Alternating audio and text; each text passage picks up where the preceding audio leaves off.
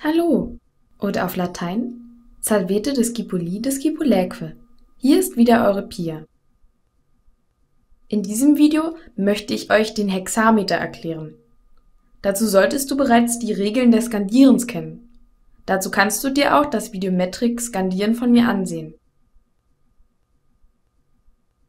Der Hexameter ist einer der am meisten verwendeten Rhythmen in der lateinischen Dichtung.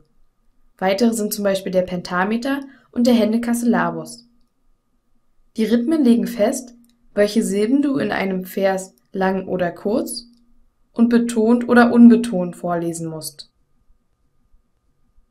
Hexameter ist also ein Name für ein lateinisches Versmaß. Jeder Vers in einem lyrischen Text ist dann ein eigener Hexameter. Der Versfuß bzw. das Metrum im Hexameter ist der Daktylus.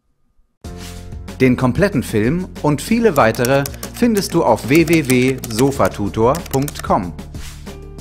Über 7000 Lernvideos erklären dir, was du für gute Noten wissen musst. Tests überprüfen dein Wissen nach jedem Video.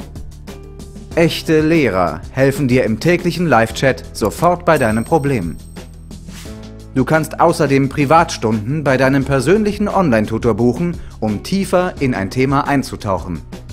So helfen wir dir, deine Zensuren ohne großen Aufwand zu verbessern. Probiere es am besten sofort aus.